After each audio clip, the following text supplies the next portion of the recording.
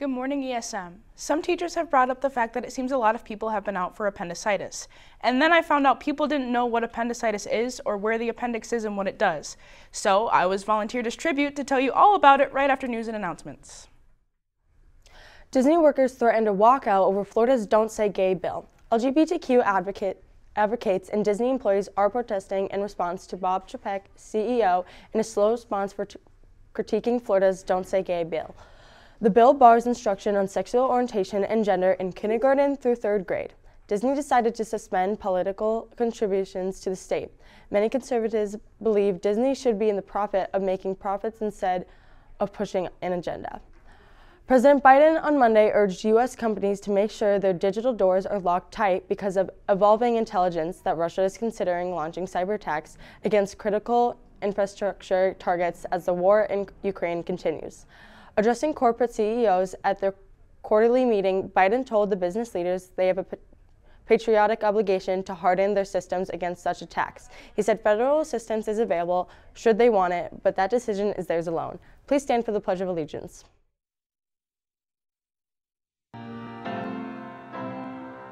I pledge allegiance to the flag of the United States of America and to the republic for which it stands, one nation under God, indivisible, with liberty and justice for all. This Thursday, March 24th, marks one whole month since the invasion of Ukraine.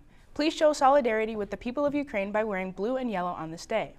The colors of the flag represent the blue sky and the golden wheat fields in Ukraine. Please hashtag wear blue and yellow as they defend their freedom.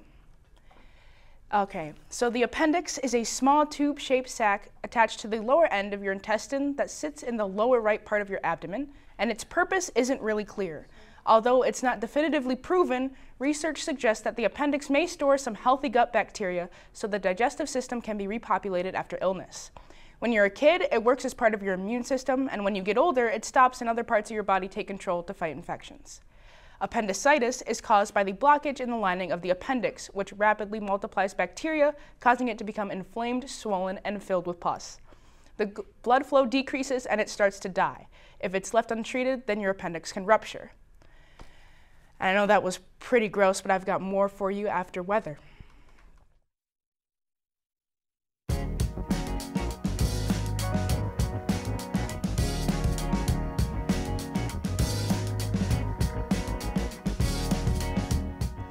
Um, can't really see anything going on the, on the map behind me, which means that today is going to be a pretty sunny day, but unfortunately tomorrow is going to be very cloudy and rainy. Today we will have a high of 46 degrees and a low of 26 degrees. Tomorrow we have a high of 48 degrees and a low of 40 degrees. And I'm Paige with your weather.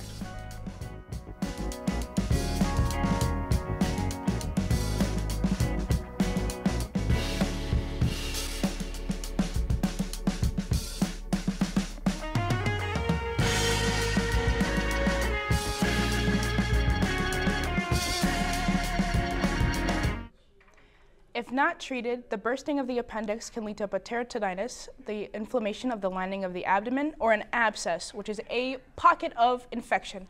It's disgusting. I know, sorry to ruin breakfast, but it's why it's so important to catch it early. the signs and symptoms of appendicitis are sudden pain that begins in the right lower abdomen, or sudden pain that begins around the navel and migrates down to the abdomen, which could worsen if you're moving, coughing, or deep breathing. Other symptoms include a low-grade fever that may worsen as the illness progresses, loss of appetite, and nausea and vomiting, just to name a few. And now, on to sports.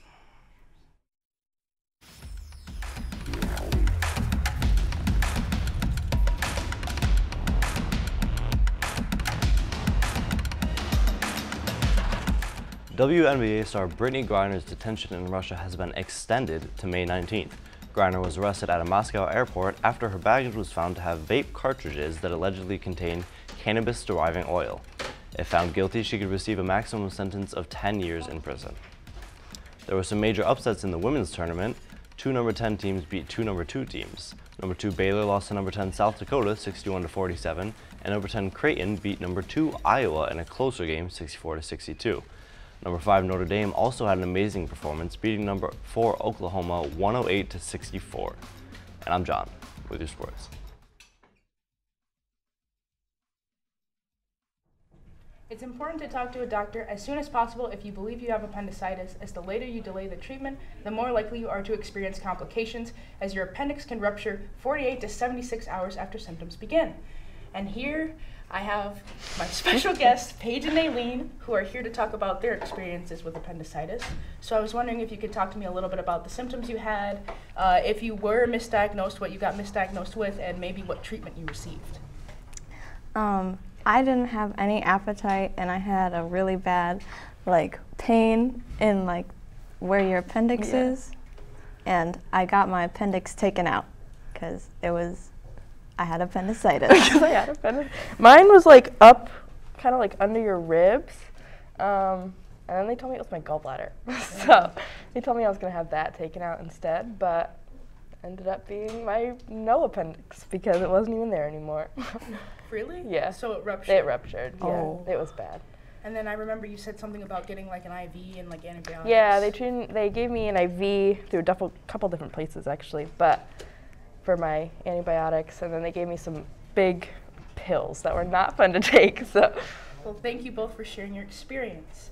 Uh, appendicitis can be mistaken for different things like constipation, Crohn's disease, and severe IBS. But if you have any condition that causes constant abdominal pain, you should seek a medical you should seek medical attention. Uh, so hopefully you know a little bit more about ap- appendicitis, and we're going to leave you with a flashback. So if you're a teacher and remember this, you've been here for at least 18 years.